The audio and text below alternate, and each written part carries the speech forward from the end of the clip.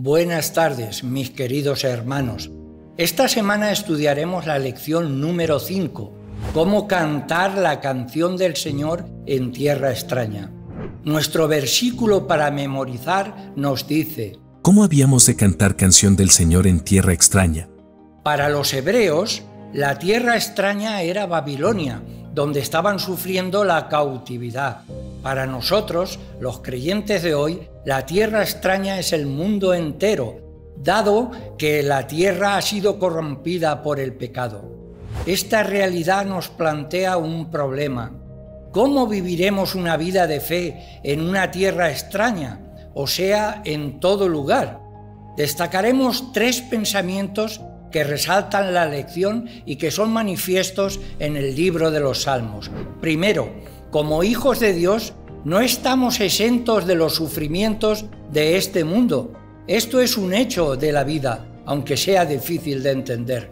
Segundo, ante los silencios de Dios o la ausencia de Dios, los salmistas no callan, creen en la oración y saben que la comunicación con Dios debe continuar independientemente de las circunstancias de la vida.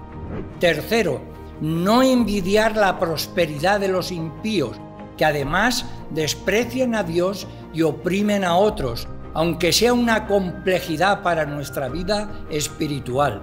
El salmista dice que entrando en el santuario de Dios comprendí el fin de ellos. Os dejamos la siguiente pregunta para esta semana. ¿Cómo respondes tú a los momentos en que Dios parece guardar silencio? ¿Qué sostiene tu fe?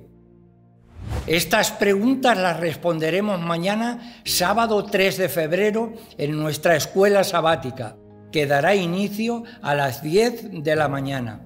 Que el Señor os bendiga y os deseamos un feliz sábado.